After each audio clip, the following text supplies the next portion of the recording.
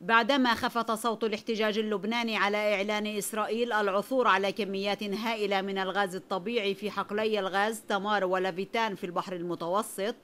انطلقت تل أبيب نحو استثمار هذا الاكتشاف الذي وصفته بالكنز الذي سينقلها إلى مصاف الدول الغنية على صعيدي الاقتصاد والمكانة الاستراتيجية في المنطقة.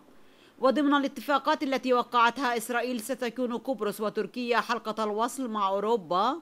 بحصولهما على الغاز عبر أنابيب من الحقلين وهي تسعى لتوقيع اتفاقيات لبيع الغاز إلى السلطة الفلسطينية ومصر والأردن. كان يمكن ضمان الاستفادة من الغاز حتى 40 عاما ولكن بيع الغاز إلى الخارج يعني أن المستفيد الوحيد تركيا وربما الصين.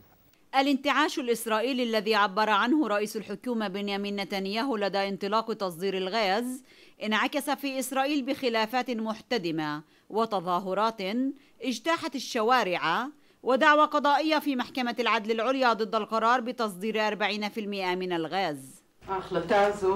قرار الحكومة بمثابة سرقة من الجمهور وخضوع مخزن أمام ضغوط المستثمرين. سنقدم التماسا لمنع تنفيذه فهو يشكل أيضا ماسا خطيرا بالاقتصاد عندنا. والعاصفة التي تشهدها إسرائيل في الصراع حول الغاز الطبيعي تشتد داخل مياه البحر المتوسط.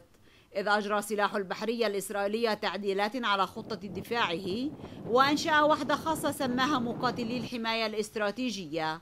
وستكون مهمتها الأساسية حماية آبار الغاز وحماية أهداف في الخارج والحدود الإقليمية. كما تتدرب وحدة معروفة باسم النحلة على كيفية التعامل مع سيناريو تنفيذ عملية انتحارية داخل البحر واختراق الحدود البحرية.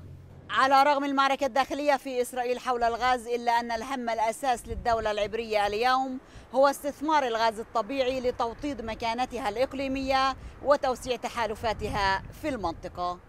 أمال شحادي من مدينة حيفا.